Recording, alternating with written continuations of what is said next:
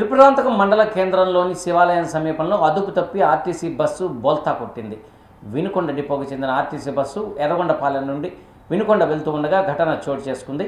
ఎర్రగొండపాలెం నుండి బయలుదేరి మిట్టపాలెం సమీపంలో బ్రేకులు విఫలం కావడంతో ప్రయాణికులను డ్రైవర్ వేరే బస్సులోకి ఎక్కించేటట్లు తెలిపారు. మళ్ళీ బస్సు మళ్ళీ బస్సును రిపేర్ చేసుకుని బయలుదేరగా త్రిపురాంతకం శివాలయం సమీపంలోని మలుపు వద్ద మళ్ళీ విఫలం కావడంతో బస్సు బోల్తా కొట్టినట్లు డ్రైవర్ తెలియజేశారు. బస్సులో కండక్టరు డ్రైవర్ మాత్రమే ఉండగా ఇరువురికి స్వల్ప గాయాలతో బయటపడ్డారు. విషయం తెలుసుకున్న Yerragondapalem CI Devaprabhakar Tripurantakam SI UV Krishnaiah ఘటనా స్థలానికి చేరుకుని పరిశీలించారు.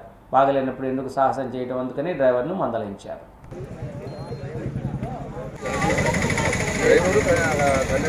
బ్రేక్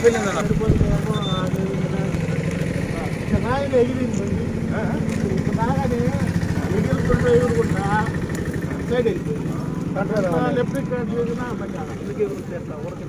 బండి స్పీడ్లో కూడా లేదన్న మన ఇబ్బంది. ఉందో ఆపుకుందామా అంటున్నాను ఈ టర్నింగ్లో కట్ అవ్వలేదండి బ్రేక్ బ్రేక్ తీసుకుని బ్రేక్ ఆగొచ్చు కదా మళ్ళీ బండి అది వేసుకుని రావడం ఎందుకు రన్నింగ్లో ఉన్నాయి బండి యాడ్ రన్నింగ్ ఉందిలే యాడ్ బ్రేక్ ఫెయిల్ అయితే మళ్ళీ ఎట్లా తీసుకొస్తావు నువ్వు బండిని నేను ఒక పక్క జనాలు దింపాను నువ్వు నీకు జరిగితే నువ్వు తెస్తే అవతల కుదిరి మళ్ళీ ఆకని ఎక్కించాలి.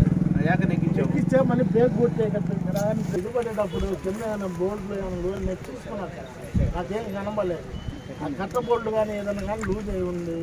సైడ్ పోవటమే అయింది బండి. మెకానికల్ డిఫెక్ట్ వచ్చింది.